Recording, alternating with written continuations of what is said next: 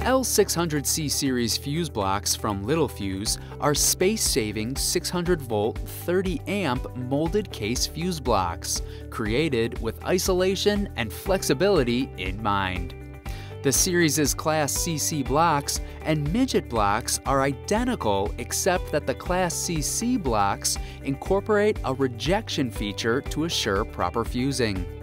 This also prevents the insertion of fuses with lower interrupting or voltage ratings.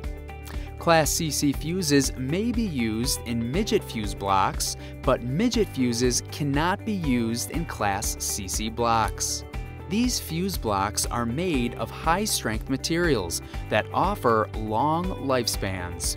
They are molded using strong, high-temperature material to minimize block breakage and damage from heat. The L600C series features interlocking fuse blocks that allow for ganging to produce a fuse block with any number of poles. Their flexible terminal arrangements are available with Type C box lug, Type SQ screw, or Type PQ pressure plate terminals. This allows for a greater accommodation of needs and reduces part inventory requirements.